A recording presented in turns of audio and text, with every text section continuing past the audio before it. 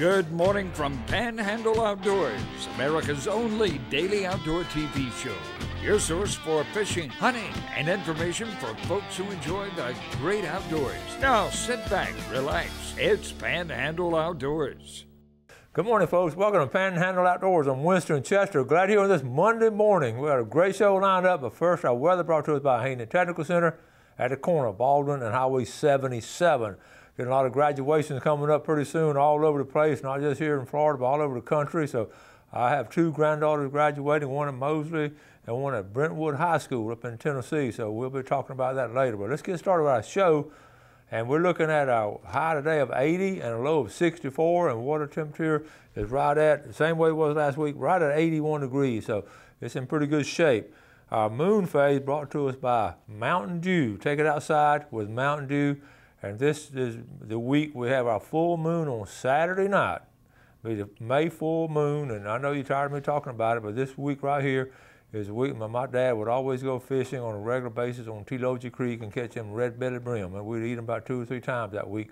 So this is a this is a good good week to freshwater fish. Our, our tide chart brought to us by Kent Forest Lawn. Decent tide today, uh, 2:12 a.m. Of course, this morning was a low tide and high tide. Now it's different now. Over the weekend, it came in around noon. Now the high tide is going to be around five o'clock. Okay, it's changing. The tides are always changing. That's why I give them every day. They're they're different, and uh, we're going into some neap tides toward that full moon. We won't have much tidal flow at all. Uh, our marine forecast coming out of the west, straight out of the west at about 10 to 12. All right, let's keep our uh, keep our eyes on on that uh, on that wind now. It's sort of an odd direction right now. All right, let's take a break. We'll be right back.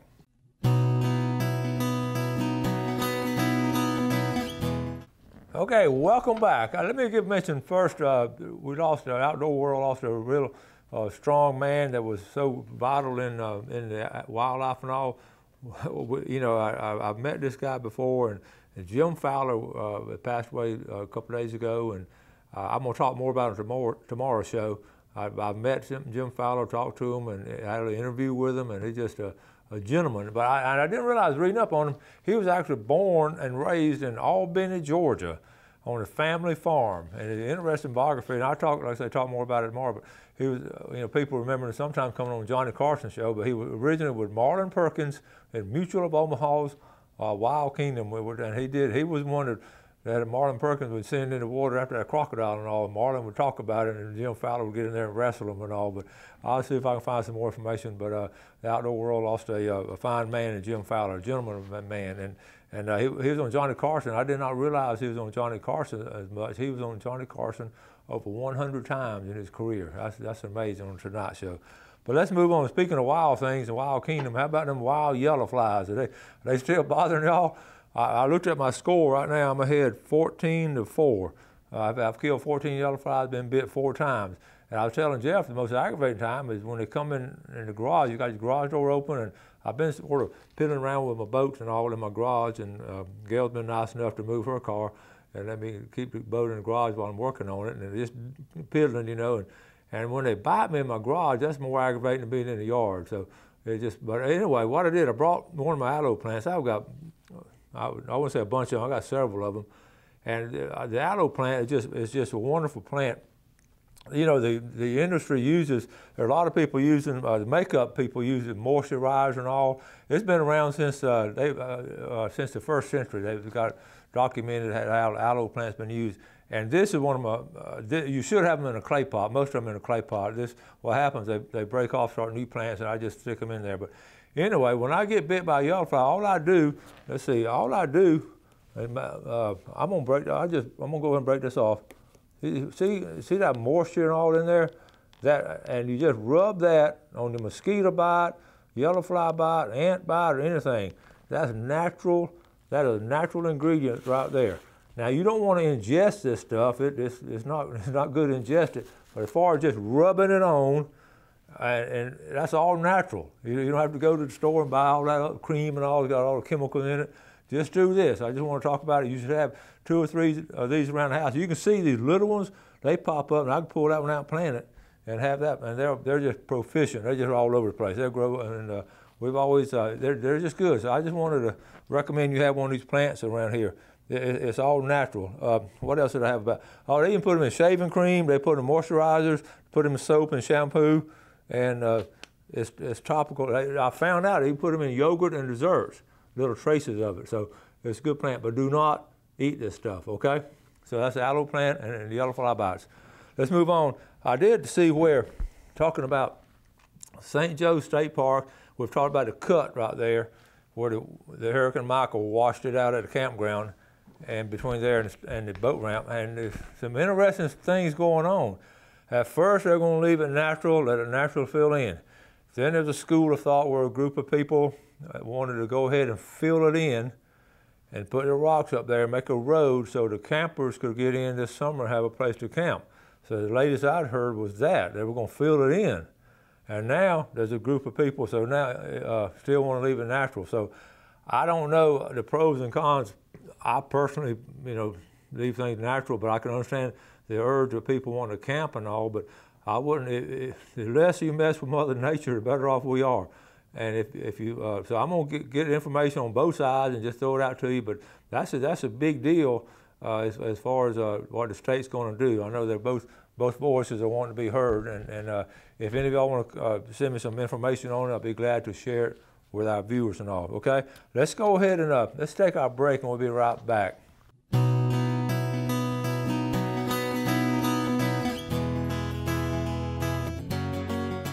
Welcome back. Glad you're with us on this Monday morning. We appreciate you supporting the sponsors that bring you Panhandle Outdoors. We got a bunch of them now, and they're all good people, family-owned local businesses, and uh, Small Business America. And we're just we're very proud of them. We really appreciate your support of them.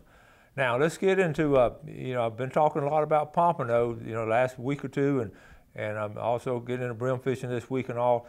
And uh, I, there's two different ways to fish for pompano. I want you to understand this, and I I've gotten, I've uh, to, I do the lazy thing. I, I walk up, I used to cast a lot, you know, with jigs. I walk them down the beach casting. And then, you know, we, we let it so, sort of soak. It's sort of there, people call it soak fishing. You soak the bait, you really just sit, sit out there. And I say over the years, I've just sort of evolved into that because I can do two or three different things. So you've seen a lot of my surf fishing where I'm doing that. Now, another way to do it, a lot of guys have done this for a long time. You get in your boat, and you go to these different potholes and try to find them in a hole, and you, it's called sight fishing. You can actually see them flash in the water, and that's a fascinating way to do it. And I, I, I don't do as much as, as we used to, but I still go with some people to do it because you pretty well know where the holes are, and you can cruise them down the beach. And all, they've changed since Hurricane Michael. The holes have moved around a little bit. It's been fascinating, but they're still in the same general area. But sight fishing for them is a lot of fun. I got a little video uh, when I went with Chappie Chambers and a couple of his buddies, and Chappie is an excellent fisherman, and we went out to Treasure Island, we just right outside the pass, the hole out there, and, and we're just sight fishing. I didn't fish, I just I went along as a cameraman on this one and watched those guys do it. So I just wanted you to see some of y'all coming in uh, as new viewers and all, when you go sight fishing for pompano, it's just a lot of fun and, and you can, we actually just stayed in one hole. Now, we could have caught a lot more fish if we'd moved down another hole, but we're just trying to get a little bit of footage and showing you all about sight fishing. So, Jeff, let's roll this video. All right, folks, here we are at Treasure Island, getting ready. It's early in the morning, getting ready to go out with Captain Chappie. Chappie, what's our game plan this morning? Well, I hope we catch a pompano, maybe a cobia, whatever swims. All right, we're going after them. On the famous death trap, the infamous death trap. Okay. Uh, Marshall, tell the folks what are you doing over here? Just trying to catch a few chofers. Go ling fishing with. Okay, so getting our bait, trying to get it fresh right across there at Captain Anderson's. Okay, now here with the rest of the crew, Captain Chappie on, on an infamous death trap over here. I'm Marshall. Marshall, and down here. Patrick. I fished with these guys before. They know how to fish now. Uh, who's going to catch the biggest fish today? Winston. All right, I'm gonna be the cameraman. We're gonna have a good fishing trip ahead of us. Okay, we're still catching a bait. Chappie, what's he trying to do? He's catching a few chofers for uh, cobia bait, live bait for cobia. You see one. We got eels and uh, we'll have eels and chofers. All right. Hello. Catching our bait right here on the edge of Shell Island. The Yankees call them pinfish. Bay Countyans call them chofers. So what do you call them? I call them chofers. If you call them a pinfish on this boat, you have to walk home. All right, folks, we're up here on the tower, Marshall's already hooked up. What you got, Marshall? Pompano. Look at here. Oh, there's one with him. There's one with him.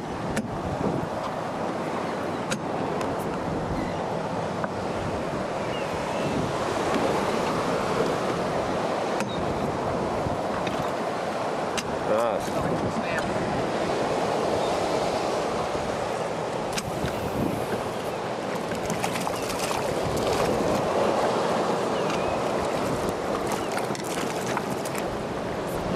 coming aboard. All right. hey, might be leaving. Yeah, throwing the ball. Chappie. 11 inches. All right. Yeah, there's one with him. There's some with him. Marshall got one on up here. Where's your fish, Mark? See the line. I don't know if you see it. Stretched out. Right there.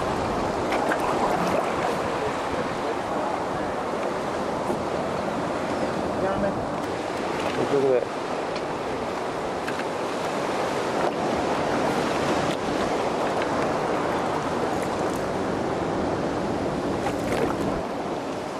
I did him. Good. Oh! Nice bumping out there.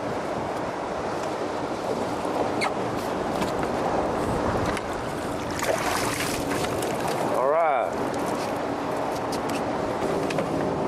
Hold him up there, Chappie. That's a nice bumping up. There he is. Clear. All right. A pound and a half. Oh, he's over. Right. He's over here. Chappie got one on. Finally. What do you think you got, Chappie? I don't know. I think it, they said it was a pompano. I don't know. I haven't seen the color yet. If I don't fall down first. Get my fish. You better net him too? Not yet. he decided he He, he's got some shoulders, hasn't he? Do like me. Do it yourself. about like Marshall. Don't fall down. Oh, it's rough out here. There it comes, Jimmy. Oh, nice. That was about a pound and a half. Yep.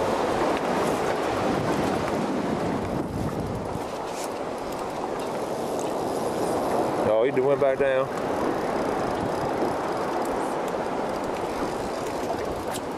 Tell him the captain's about to fall overboard trying to catch his fish. Chappie working hard on this one. There it comes. He's milking it for the camera. yeah, buddy. Airtime, huh?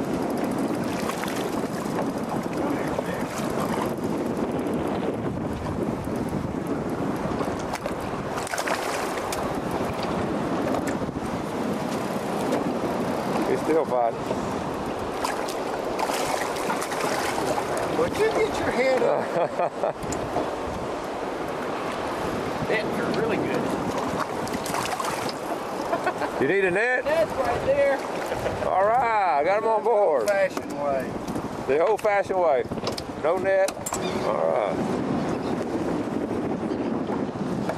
Well, get us some dirty rag off of it. Nice one. Chappie had a fun trip. I'm glad you did. I wish we could have done better. Well, we did good. What we got? A few pompano in here. Got three. There go Patrick. Old man caught the biggest one. Who caught the biggest one? I did. All right. That's nice. Only bad part about That was Marshall's peanut, wasn't it? Yep. That one shrunk up a little bit, hasn't it? Yeah, I Hey, think Pat- it drew up about three inches. Hey, Patrick, how big was yours? Yeah, for the last couple of days, actually. How, how big was yours? yeah, for the last three days. Well, with Marshall, Chappie, and Patrick, had a good trip, fellas. We enjoyed it. Yeah, we enjoyed it. Too bad the weather, the Gulf was too rough to get in. To really sight fish for them. All right. We'll do that next time.